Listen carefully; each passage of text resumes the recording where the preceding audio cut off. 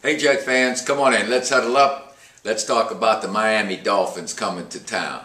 As you know, both teams, the Jets and the Dolphins, are in dire need of a victory here. And uh, I still believe that football games are won and lost starting at the line of scrimmage. Uh, when we look at both the Dolphins and the Jets, uh, when it comes to pass protection, for example, the New York Life Passing Index has the Jets ranked 24th and the Dolphins 26th. Well, that's not very good. So the pass protection up front uh, needs to be improved for both teams. When it comes to running the football, well, I tell you what, for our Jets, let's say offensively, uh, we want to establish the run. We've been talking about that. But that's not going to be easy. The Dolphins are the seventh best defensive rush stoppers in the league. So that means we're going to have to mix in the passing as well. The good news for our Jets is that defense over there with the Dolphins is not star-studded.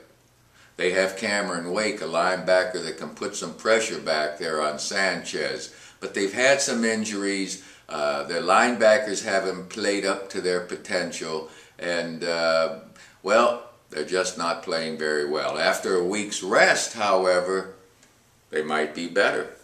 I think the Jets need to do better on first and second down. You know what we've done on third down, especially against New England, and uh, that was weak. Well, your first down and your second down kind of sets up the third down or even eliminates it. So if we can get the running game going uh, on second downs, maybe some play action on first down, whatever it takes, we've got to execute better out there on that field.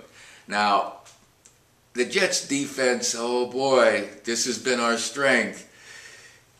It's scary to see where we are ranked in stopping the run of the opposition. That was always our forte.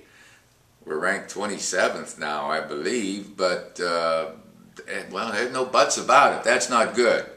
We've got to stop these rushes from the Miami Dolphins. The rookie Thomas is pretty darn good. Whether he plays Monday night remains to be seen because he's banged up and he has a hamstring muscle that's bothering him. Reggie Bush, you know about Reggie Bush, boy, he can break the long one in an instant. He can catch the ball coming out of the backfield. He's a fine player. And the offensive line is pretty good uh, blocking uh, for Miami. So I would expect our defensive front to have to play their best. Uh, we haven't seen that yet. We haven't seen a lot of pressure on the passer, certainly without uh, our, our safeties blitzing and without the blitzing. I'd love to see us be able to get back on Matt Moore and put some pressure on him because Miami has three good receivers, not counting Reggie Bush coming out of the backfield. Hartline is a player.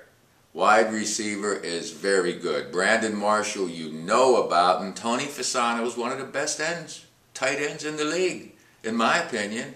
So we're going to have to play some darn good football. Uh, to get this victory under our belt, and I think we will because I believe the Jets are a better team. The team unity has been questioned uh, this past week or two because of some statements made to the media by, uh, well, let's say Santonio Holmes. Uh, before that, uh, Jim Leonhard alluded to not being ready or whatever. Just, you know, innocent statements to the guys at the time. But when they get out on the street, they're disruptive, uh, you know, for all the players. We hate to see that. The one thing about the Jets, and I believe this, Rex Ryan and his coaching staff, his staff, are going to keep that team together. I see Brandon Moore uh, talking uh, to Holmes. Yeah, they're going to get that together. They'll keep things uh, on, a, on a real professional level, even though things have been breached a little bit. But I promise you folks, when you have 50 some odd people working together, not all of them come to work every day with the I love you attitude. You know, some guys just rub each other the wrong way at times. And losing brings out the ugliness. For the team as well as we fans, we feel awful when we lose.